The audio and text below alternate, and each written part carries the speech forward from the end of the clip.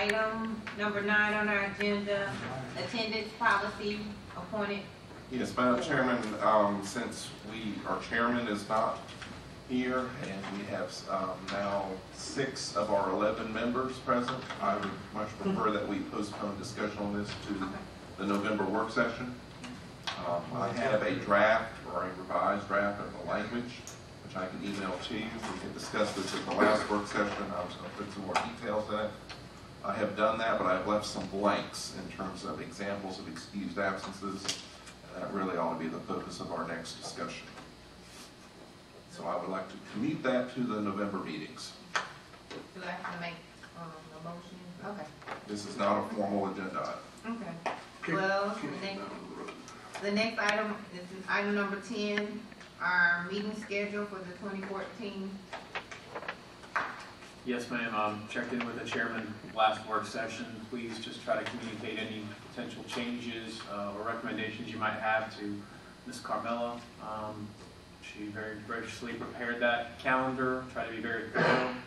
Uh, Ultimately, I think that uh, Chairman Ball said, please bring it back to our November agenda so we can have an official vote on it to set our schedule going forward. But please check those dates. At least two of them do accommodate for holidays. We're moving it to a Tuesday meeting.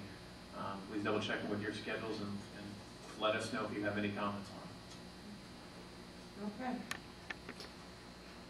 Any other items on our? And one is just the thought that popped into mind, it's a little early in one way, but not in others in terms of calendars and schedules. Um, we sometimes have a holiday gathering for ourselves, um, usually in early December. It might be a good idea to start thinking about that, um, so we're not pressed for time at the end of November trying to figure something out. The first question is, do we have one or not? And two, when and where, if we are.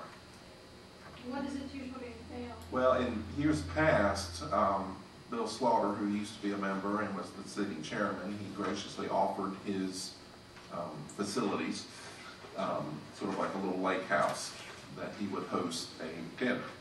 Um, He's no longer a member of the planning commission, and I'm not sure we can impose ourselves on him or not. So we may need to come up with an alternative.